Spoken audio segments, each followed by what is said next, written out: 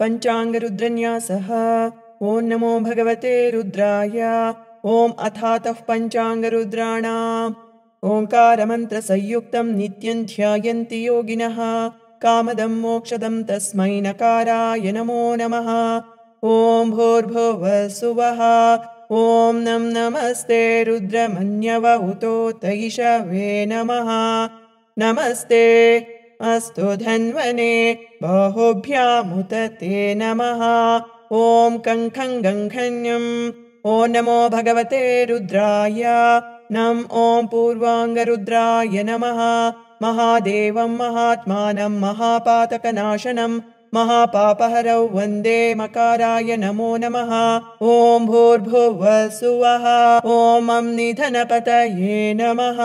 निधनपतान्तिकाय नमः ऊर्ध्वाय नमः ऊर्ध्वलिङ्गाय नमः हिरण्याय नमः हिरण्यलिङ्गाय नमः सुवर्णाय नमः सुवर्णलिङ्गाय नमः दिव्याय नमः दिव्यलिङ्गाय नमः भवाय नमः भवलिङ्गाय नमः शर्वाय नमः शर्वलिङ्गाय नमः शिवाय नमः शिवलिङ्गाय नमः ज्वलाय नमः ज्वललिङ्गाय नमः आत्माय नमः आत्मलिङ्गाय नमः परमाय नमः परमलिङ्गाय नमः। एतत् सोमस्य सूर्यस्य सर्वलिङ्गगस्ता पयति पाणिमन्त्रं पवित्रम्। ॐ चञ्छञ्झञ्झन्यम् ॐ नमो भगवते रुद्राय।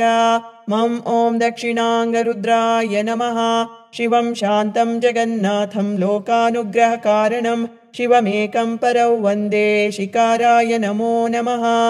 ॐ भूर्भुवसुवः ॐ शिम् अपैतु मृत्युरमृतं न आगन्वैव स्वतो नो अभयं कृणोतु। पर्णौ वनस्पतेरिवाभिनश्यतागं रयिः स च तां न शचीपतिः ॐ टण्ठण्डण्ठण्णम् ॐ नमो भगवते रुद्राय। शिं ॐ पश्चिमाङ्गरुद्राय नमः। वाहनं वृषभो यस्य वासुकिः कण्ठभूषणम्। वामे शक्तिधरौ वन्दे वकाराय नमो नमः। ॐ भूर्भुवसुवः। ॐ वां प्राणानां ग्रन्थिरसि रुद्रो मा विशान्तकः तेनान्नेन आप्यायस्व। ॐ तन्थन् दन्थन्नम् ॐ नमो भगवते रुद्राय। वामोमुत्तराङ्गरुद्राय नमः। यत्र कुत्र स्थितं देवं सर्वव्यापिनमीश्वरम्। यल्लिङ्गं पूजये नित्यं यकाराय नमो नमः।